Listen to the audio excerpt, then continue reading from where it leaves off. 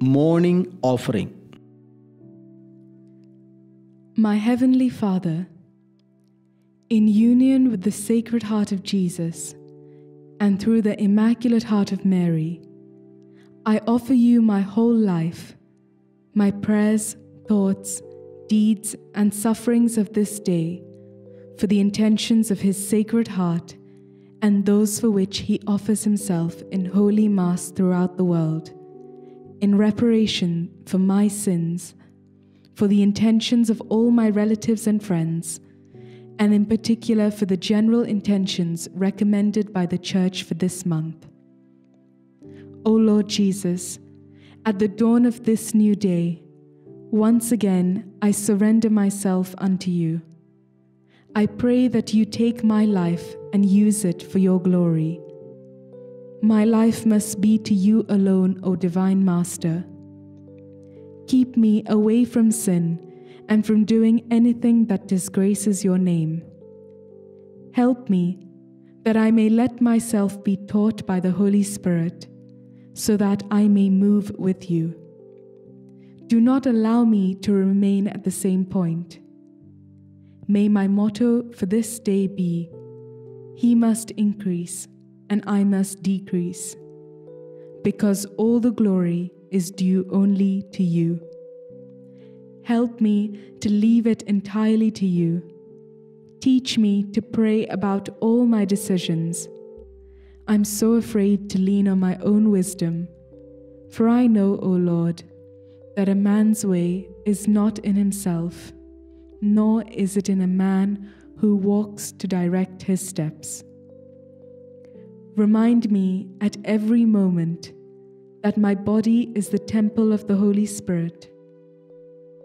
May this wonderful truth guide my behavior.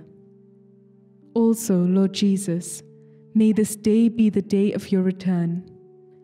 I look forward to see you face to face and to prostrate myself at your feet in humble adoration. May this hope brighten my heart throughout the day so that I may free myself from anything that might hold me back here in this life and keep me alert in expectation of your return. Come, Lord Jesus.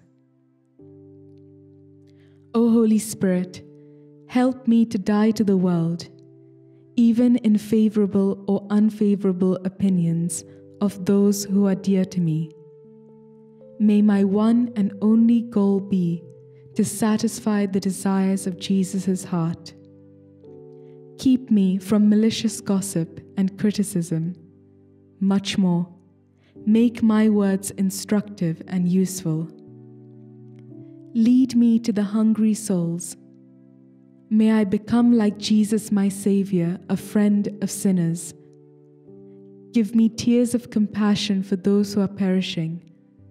Help me to see the crowd with your eyes and to love the sheep going astray. May my love for you lead me to love them.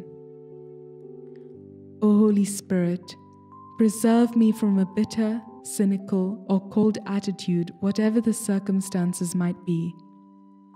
Guide me in the management of my goods and help me to take care of what you have entrusted to me. We make this prayer through Christ our Lord. Amen. May the Lord bless you as He promised through the book of Numbers, chapter 6, 24 to 26. The Lord bless you and keep you. The Lord make His face to shine upon you and be gracious to you. The Lord lift up His countenance upon you and give you peace. Amen.